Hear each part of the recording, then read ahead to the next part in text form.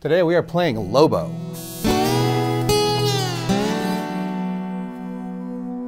The Postas deck is a real simple deck. It's five suits numbered 1 through 10. Uh, there is an 11th card in there because you can also play all the Vines games with this deck. That's another five-suited deck with 11 ranks per suit. Lobo is a solitaire game. It's one of a very small number of solitaire games I've made so far, but I'm liking it and I might just do more. This is the basic arrangement. There is a wolf hand. The Lobo is the wolf's hand up here. This is my hand down here, and I'm trying to erase the wolf's hand by the cards that I play. Um, I can't always do that, and so if I can't get rid of all of the wolf's cards, I just want to reduce his score as low as I can. Uh, if I beat the wolf, then I get to score my own cards instead. And so I keep a running score. Whichever one of us, the wolf or myself, gets to 100 points first is the winner of the game. I know I can always get three full hands out of a deck, so I'm going to shuffle once and then play three times, and then I can shuffle after that. To start the game, I'm going to give four cards to the wolf and four cards to myself. Now, there's several different kinds of attacks that I can make, uh, each of which will take cards, using use cards from both hands and eliminate them. And each one of those puts a new card into play, sometimes on the wolf side, sometimes on my side. One of the important things is I can always see the top card of the deck. So if I just I can decide between different kinds of attacks where this card goes. Sometimes it's okay to give it to the wolf. Sometimes I want to keep it myself. So here's the attacks. The absolute best kind of attack is a match or a perfect. That's where I take a card from my hand that matches exactly a card from the wolf's hand. When I do that, they both go away and I get the next card on the deck. Only slightly worse than that is called a sum, and that's where I add up several of my cards to equal one of the wolf's cards. So I could do 8 plus 1 equals 9, and that gets me the next card on the deck also. The only reason I say it's worse than a perfect is that I'm losing more cards when I do that. Uh, I, I don't have four cards anymore, I only have three. So let's see. 8 plus 1 is 9 is my sum. The next kind of attack is a sweep, where I use one of my cards to pick up several of the wolf's cards. So if I had a 7, I could pick up 6 and 1. And if I do that, the wolf gets the next card. So it's not as good as the other attacks. And the finally, the worst kind of attack is an over, where I take one of my cards that's greater than one of the wolf's cards. Take those out. But in that case, the wolf draws cards equal to the difference. So if I did 8 takes 6, the wolf would get two cards. He would get this 2, and he would get whatever is next. Uh, so I will only do that when I'm really feeling desperate. And I also have the option to fold. It might be safer. It's often safer for me to fold than to just give the wolf a bunch of cards. The wolf's final score is going to be the point value of all the cards in their hand. And so I, uh, uh, it would be risky. The 2 is small, but who knows what's next. So how am I going to attack this? I want to get out clean, so I want to save my perfect plays until the end, and I have a couple of those. I have 3 takes 3, and I have 1 takes 1. Uh, I even have 8 and 1 takes 9, so that's a pretty good set of attacks. Let's start by taking out the 9. That gets me this 2, and we'll see where we are then. Now I have another 9. If the 9 were in my hand, it would be worth 9 points if I finish with it, which is great. Um, I could also use it to sweep the 6 and the 3. And knowing that, knowing that that's an option I want to keep, I'm going to do the 1 takes the 1. So when I do a perfect attack, I get the next card on the deck. Let's see what's below that. That's a 6. Oh, that's pretty tempting. So now, 3 takes 3. That gets me the 6 in my hand. This is the next card on the deck, a 7. 6 takes 6, and that kills the wolf, and I get the 7. So I get all these cards uh, 9 and 2 and 7, I get 18 points as my score for winning that game. Let's try another hand.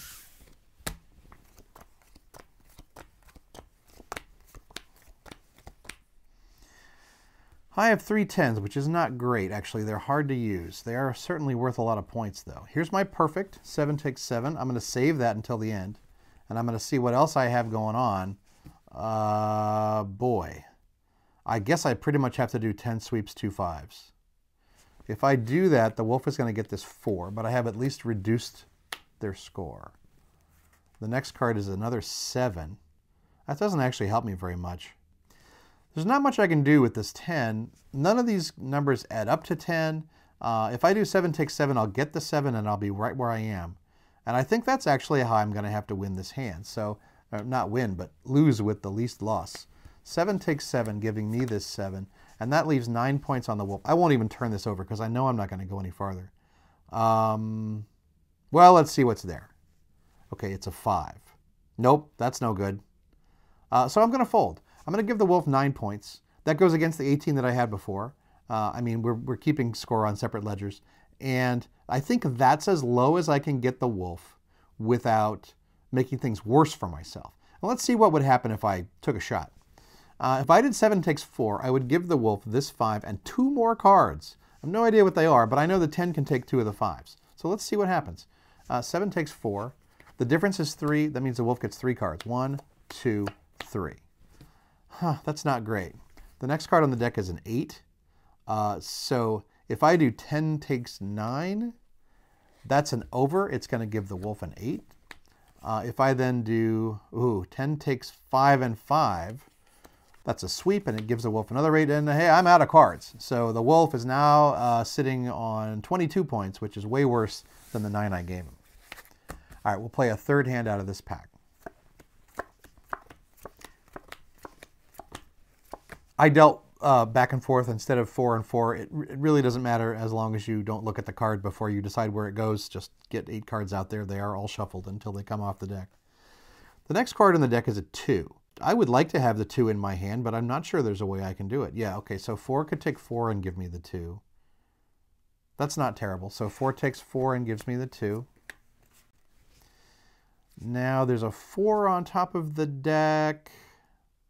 I don't see an exit strategy yet, but I can do 2 takes 2, and that gives me the 4.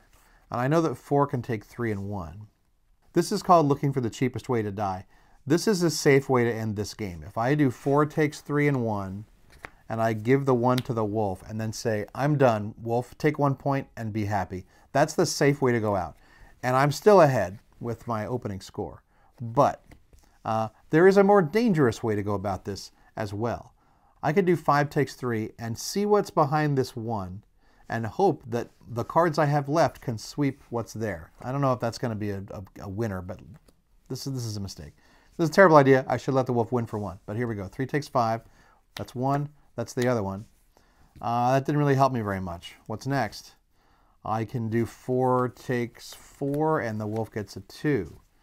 Uh, and I'm done. And the wolf wins with three instead. So that's that. Let's go through another round. Despite my success in this demo, it is actually pretty hard to beat the wolf with a full deck. And so you can make the game easier by taking out high-ranking cards. You go from hard mode to normal mode by taking out the 10s, and you go to easy mode by taking out the 9s and the 10s. Basically, when you have fewer different ranks, you have more ways for the cards to match up.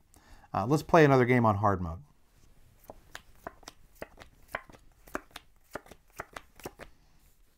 All right, I have 6, 7, 8, 9. The wolf has 5, 5, 3, 1. What can I do with all that? I don't see even how I get out yet. Oh, well, here's my card. That's my out. If I can do 5 takes 5, I can get out. So I want to get the 5 into my hand, although I'm not sure how to do that. Uh, yeah, I don't have a way to do that right now. Okay, well, 3 and 5 and 1 is 9. Let's do that. 9 sweeps, 3 and 5 and 1. That puts the 5 in the wolf's hand and gives me this 2. Well, if I do 6 takes 5, that'll put the 2 in the wolf's hand and give me this 4. Still not much going on here. If the 7 sweeps the 5 and the 2, the wolf gets the 4, and I think that's as good as it gets. So I'm going to have to let the wolf score 4 points this round. I'm going to put the wolf score right here, and then I'll just know what the, what the wolf score is. Uh, if you have a card on top of the deck, you need to ditch that. You can't just deal it into the next hand because you've already seen it.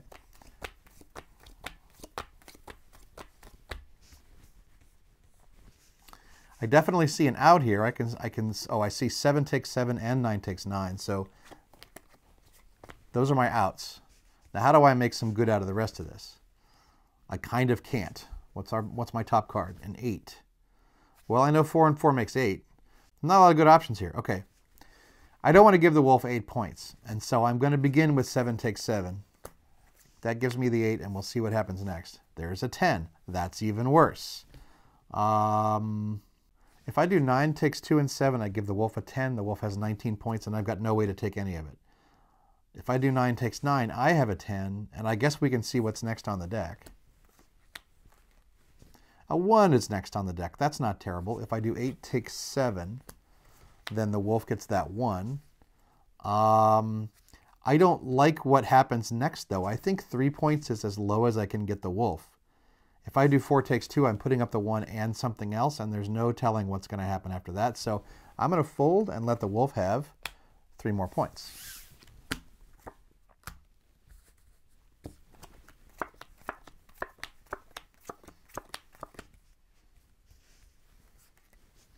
All right, this has got to have an out. So let's see. There's a 2 taking a 2. Um, the 6 can take 3 and 3. Let's do that. I may be missing moves here. I am just demoing off the cuff. The 6 takes the 3 and the 3, but a sweep means the wolf gets that 2. Now there's a 10, and I don't mind giving that 10 to the wolf. So the 4 takes 2 and 2. That's another sweep. And puts the 10 on top. And there it is. I got lucky. 10 takes 10 and gives me that 5. And that means 5 can take 5, and I've got 3 points. I win with 3 points. Now what does that mean finally? The wolf got these 7, I got these 3. So for that round of 3, the wolf actually beat me by 4 points. Again, for a full game, we would keep score to 100 points, and that's how you play the wolf. Thanks for watching, and thanks for playing all the Crab Fragment games. I'm James Ernest, and I'll see you at the table.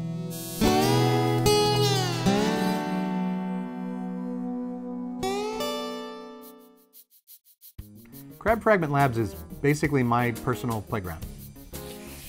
Started this up to do what I love doing, which is to make games, and honestly, I am sick of trying to sell them, so I'm giving them away for free. Almost everything at Crab Fragment Labs is completely free. Games, articles, short fiction, lectures, videos, everything I do, uh, more or less, but I uh, still have to pay rent in my life. And so if you would like to help out, if you like what I'm doing here at Crab Fragment, please join us on Patreon.